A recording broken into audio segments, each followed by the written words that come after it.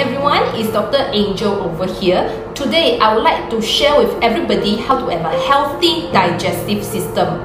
Do you know that you need to open your bowels or poop every one or two days in order to have a healthy digestion system. What, what kind of thing can actually cause constipation, for example? You know, certain people, when they don't have enough exercise, they don't drink enough water, and they do not have enough dietary fiber in the diet, that can also cause constipation. So all of this can cause constipation.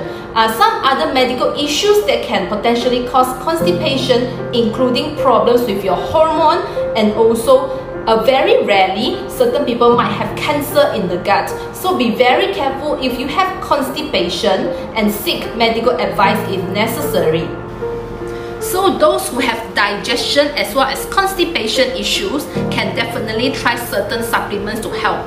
But always make sure your supplement is HACCP, GMP certified and also it has obtained KKM certification. That's to ensure the safety.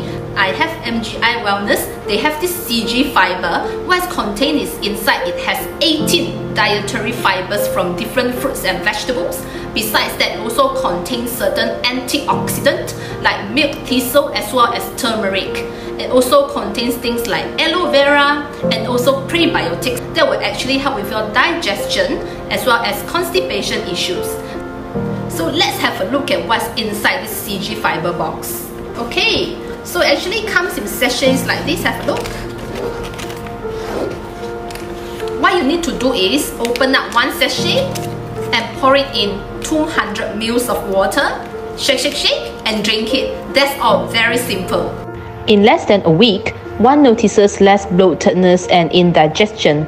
Bowel motions are also regular and easier, Long-term use of CG fiber improves digestive health and sense of well-being. This is especially important in older adults with multiple medical problems and memory issues, as constipation is well known to cause confusion. So that's all for my sharing today. Those who are interested can go onto their website to have a look. Thank you, that's all for my sharing today.